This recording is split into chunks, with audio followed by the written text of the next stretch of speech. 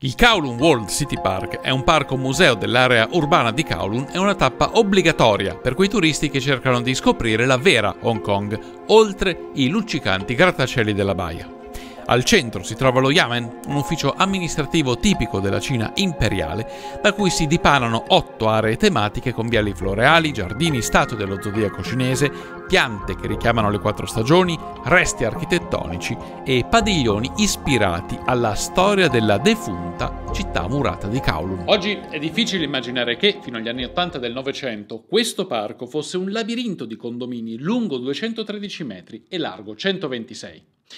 Numeri che così non dicono nulla, ma la cifra più spaventosa è un'altra.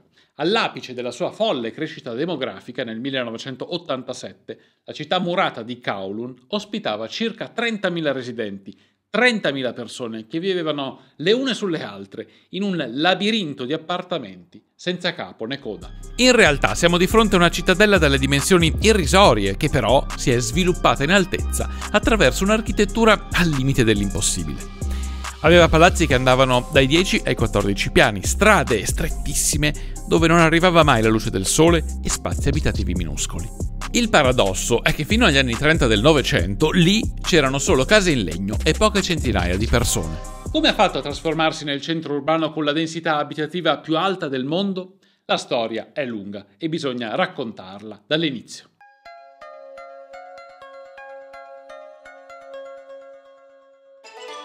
La storia della città murata di Kowloon ha inizio ai tempi della dinastia Song, al potere dal 960 al 1279, quando è solo un semplice avamposto con mansioni di controllo sul commercio del sale. Sappiamo che nel 1668 vi sono a distanza circa 30 soldati e intorno al 1810 ha luogo la costruzione di un piccolo forte costiero per rafforzare il controllo sull'area.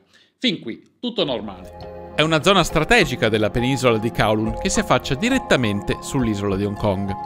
I problemi iniziano nel 1842 con la Cina che perde la prima guerra dell'oppio e firma il Trattato di Nanchino, in cui cede all'impero britannico l'intera isola di Hong Kong. Dall'altro lato della baia però c'è la penisola di Kowloon e la Cina deve correre ai ripari per mantenere la sua influenza sui territori che gli sono rimasti. Il piccolo forte antesignano della città murata di Kowloon, il nome che assumerà a partire dal 1847, ottiene così una grande cinta muraria in pietra con quattro ingressi nei rispettivi punti cardinali. Dopo la seconda guerra dell'oppio e la seconda convenzione di Pechino del 1898, l'Inghilterra ottiene l'affitto per 99 anni di alcuni territori utili ad assicurare un'adeguata difesa ai suoi possedimenti coloniali di Hong Kong, inclusa la penisola di Kowloon. L'unica eccezione è la città murata, che si trasforma in una minuscola enclave circondata da zone di competenza britannica. Secondo gli accordi, la concessione è vincolata alla promessa dei funzionari cinesi locali di non interferire con l'amministrazione di Hong Kong, ma già l'anno successivo il governatore Sir Harry Arthur Blake sospetta che la Cina vi stia radunando delle forze terrestri per rompere gli accordi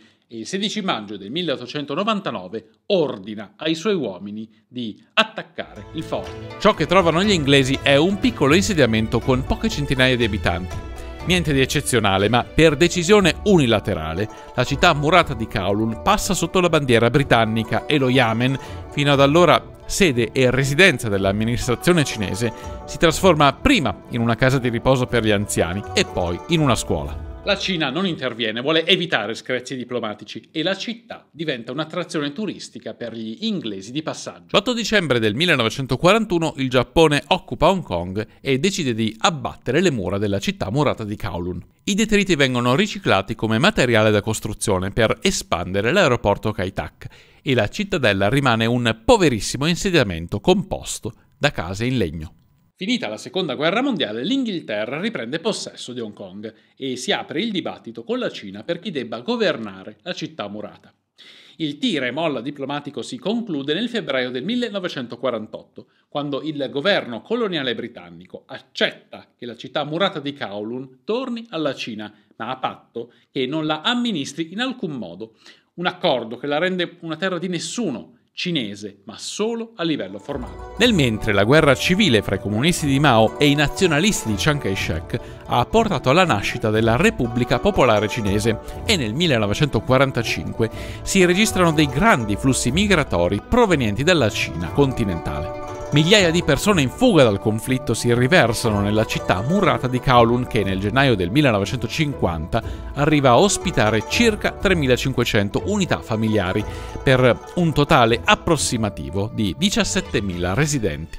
Il problema è che le sue abitazioni sono per lo più casette abusive costruite in legno e proprio in quell'anno scoppia un incendio che le distrugge tutte.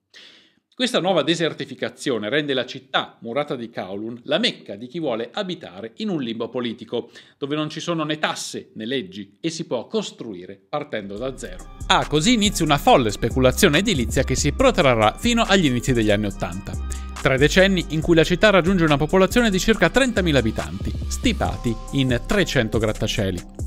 In questa lunga e costante crescita demografica c'è lo zampino indiretto di Mao, che con il suo grande balzo in avanti e la successiva rivoluzione culturale produce nuove ondate migratorie. Per chi vuole fuggire dal regime comunista senza espatriare, la meta perfetta è proprio la città murata di Kowloon, l'unico territorio cinese dove il governo non ha alcun potere. Sommando tutti questi fattori, arriviamo a una testimonianza tratta dal libro City of Darkness, Life in Kowloon Walled City.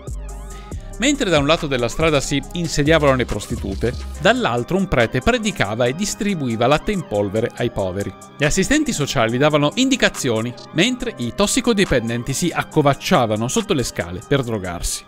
Quelli che di giorno erano centri gioco per bambini, la notte diventavano locali per spettacoli di spogliarello. Era un posto molto complesso, difficile da generalizzare, un posto che sembrava spaventoso, ma dove la maggior parte delle persone continuava a condurre una vita normale. Luci e ombre, yin e yang, normalità da un lato e criminalità dall'altro. Fra gli anni 50 e 80 la città murata è una realtà urbana in bilico fra due estremi opposti. Dopo l'incendio del 1950, la gente inizia a ricoprire di case tutti i suoi 27.000 m2, a esclusione dello Yamen, l'unica zona priva di edifici. Ma senza alcun piano regolatore, permessi e altri iter burocratici legati alle pratiche edilizie. Quando finisce lo spazio orizzontale, si continua in verticale. Il risultato è che su un appartamento pian terreno se ne costruisce un altro, poi un altro ancora, fino ad arrivare a un minimo di 10 e un massimo di 14 piani. Se c'è un limite è solo grazie alla presenza del vicino aeroporto Kai-Tak, anch'esso oggi non più in uso. Sorgono così edifici altissimi e, per ottimizzare gli spazi, gli appartamenti superiori sono sempre più larghi di quelli inferiori. Una bizzarria strutturale che rende i vicoli sottostanti quasi del tutto privi di luce naturale, perché ovviamente il sole non riesce a raggiungere i livelli più bassi. Le aree pedonali sono strettissime, di 1-2 metri, e basta allargare le braccia per toccare i due estremi della strada. Lo spazio vitale quasi non esiste, circa 23 metri quadri in cui devono vivere intere famiglie allargate, ma gli abitanti sono furbi e sanno come cavarsela. L'architetto Aaron Tan, in visita alla città murata ai tempi della demolizione, la ricorda come un grande macchinario che funziona alla perfezione, come un qualcosa di indescrivibile per quello che è il suo tessuto urbano. Tan disse: abbiamo iniziato a vedere che le persone potevano essere più intelligenti di noi designer, che potevano pensare a modi per risolvere i problemi che sono al di fuori del tradizionale mondo accademico. E allora, ecco che ad esempio con una sola pompa d'acqua in tutta la città i residenti scavano pozzi e costruiscono una rete di migliaia di tubi che si snoda attraverso i palazzi. Per ottimizzare gli spazi in comuni perforano i muri dei vicini e ne usano le scale. Tutte piccole intuizioni utili a migliorare la qualità della vita. Sui tetti, invece, così vicini fra loro da poter attraversare l'intera città senza mai toccare terra, la situazione è catastrofica. Ci sono antenne televisive, funi per stendere i panni, serbatoi dell'acqua e cassonetti dell'immondizia. Un groviglio di cose che però non frena i condomini dall'usarli come luoghi di ritrovo. In cima ai palazzi si socializza, qualcosa che invece non è possibile in casa, perché le persone lavorano e vivono in pochissimi metri quadrati. Un'altra conseguenza dell'assenza dell'autorità è che non ci sono né tasse da pagare né controlli su professionisti e imprese. Un incentivo che fra gli anni 50 e 80 del Novecento porta a un proliferare di studi medici illegali e fabbriche o aziende con conti non proprio in regola.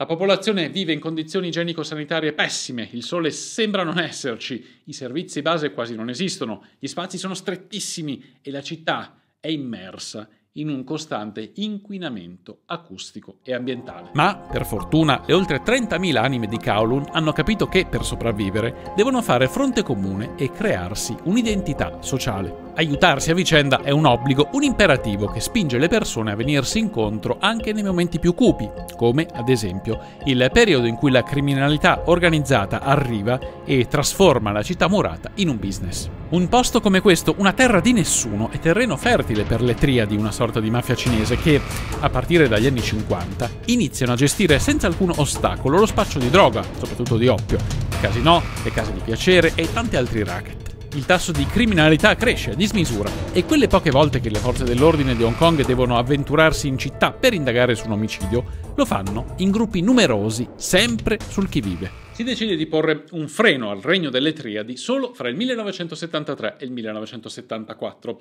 con una serie di incursioni che portano a 2500 arresti e al sequestro di quasi 2000 kg di stupefacenti.